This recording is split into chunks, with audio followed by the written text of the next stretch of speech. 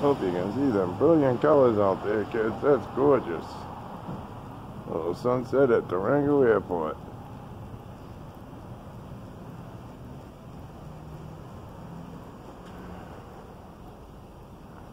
Holly over there. That's some pretty colors.